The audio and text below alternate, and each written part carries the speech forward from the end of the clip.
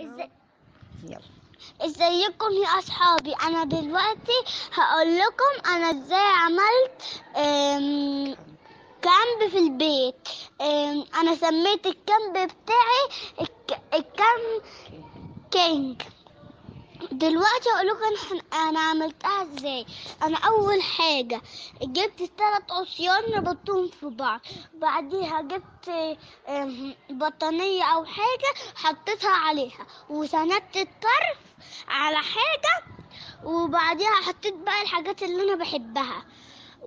وحطيت أكل مفيد. وبعد ما خلصت الأكل المفيد نظفت مكاني. وبعديها عملت تمارين وبعد كده نظفت الخيمة بقى كلها.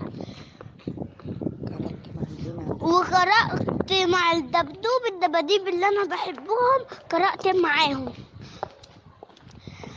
وبعديها. في النهاية بقى لميت. باي باي يا أصحابي.